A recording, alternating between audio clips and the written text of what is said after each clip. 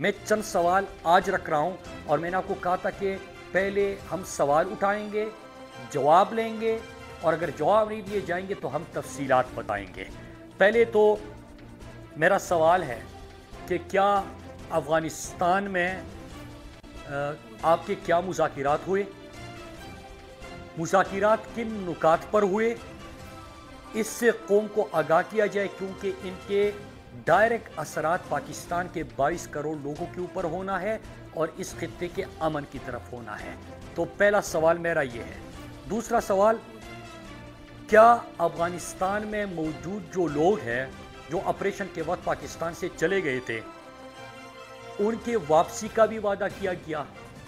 और कितने ग्रुप हैं और किस किस ग्रुप से वापसी का वादा किया गया? और इसमें डिफ्रेंशिएट करके स्ट्रेटजी क्या इख्तियार की जा रही रही है या इख्तियार की जाएगी, इसका भी पूरे पाकिस्तानी कौम को कुछ पता नहीं। फिर तीसरा सवाल है कि क्या किसी की अभी तक पाकिस्तान वापसी हुई है? और अफ़गानिस्तान और पाकिस्तान के दरमियान हमें पता है कि अभी तो फेंसिंग हुई है। पूरे बॉर्डर पे आपको याद होगा कि फेंसिंग हुई है। तो अगर वापसी हुई है तो कौन से रास्ते के ज़रिए उनकी वापसी हुई है? इससे बड़ी तशवीश है कौम को और मुख्तलिफ़ किस्म के सवाल जन्म ले रहे हैं कि पता नहीं कि क्या कमिटमेंट्स हुई है। चौथा सवाल है कि अस्सी हज़ार शुहदा हमने इस जंग में पेश किए थे। पाकिस्तान की अमन की खातिर अपने जानों का नजराना पेश करने वाले अस्सी हज़ार पाकिस्तानी हैं। सात हज़ार सिक्योरिटी फोर्सेस के जवान हैं जो पाकिस्तान की अमन को कायम रखने के लिए अपनी जानें उन्होंने कुर्बान कर दी। अपना आज हमारे कल के लिए कुर्बान किया था। तो क्या उन अस्सी हज़ार लवाकिन के ख़ानदानों को इस तमाम अमल में, एतमाद में लिया गया है?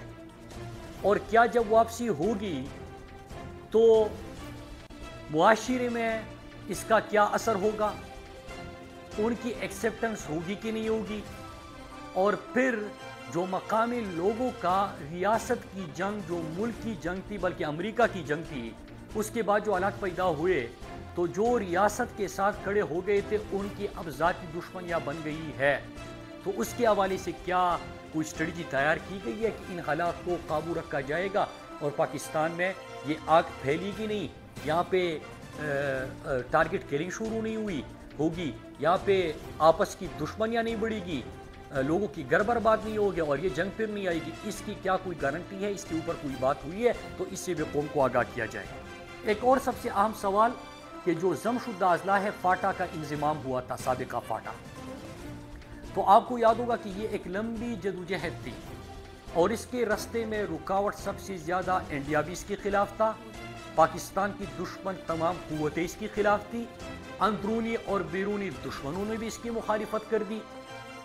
कहीं से किसी को फंडिंग की भी उस वक्त बात हुई थी कि आप इसकी मुखालिफत कर दो तो आपको इसके के लिए पैसा दिया जाएगा।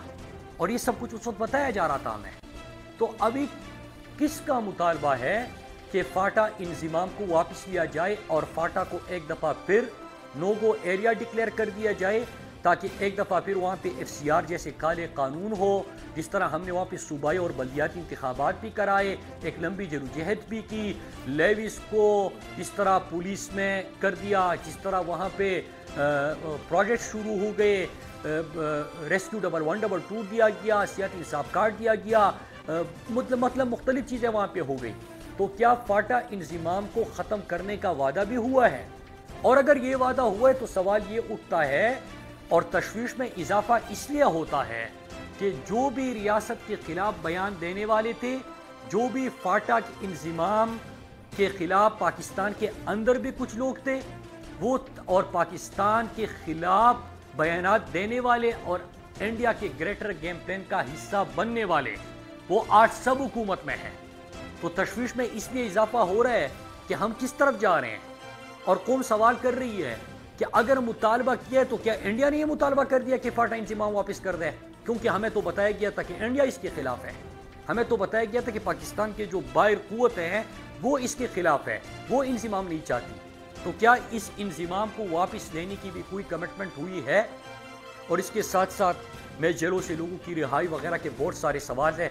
उस पर आने से पहले एक और सवाल छोड़ते जा रहा हूँ कि जो पाकिस्तान के एयर स्पेस के इस्तेमाल की बात हुई लोगों के खदशात में इसलिए इजाफा हो रहा है कि माजी में यही जरदारी था कि वो अमेरिका के सी डायरेक्टर से मुलाकात हो रही है जो आ, हम तो सुनते थे कि हुसैन हक्कानी जो है वो गद्दार है।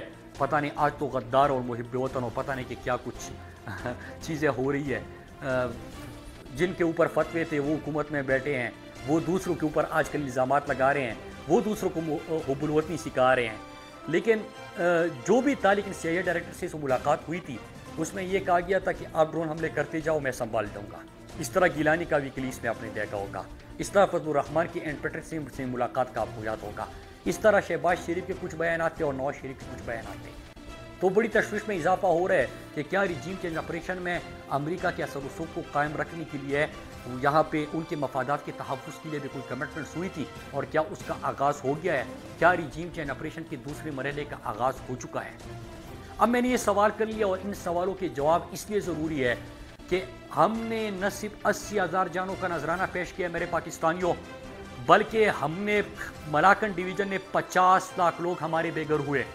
हमारे वजीरिस्तान के मसूद ट्राइब जब 2004 में पहली दफ़ा साउथ वजीरिस्तान के लोग निकले तो आज के दिन तक भी पूरे मसूद ट्राइब की वापसी नहीं हुई।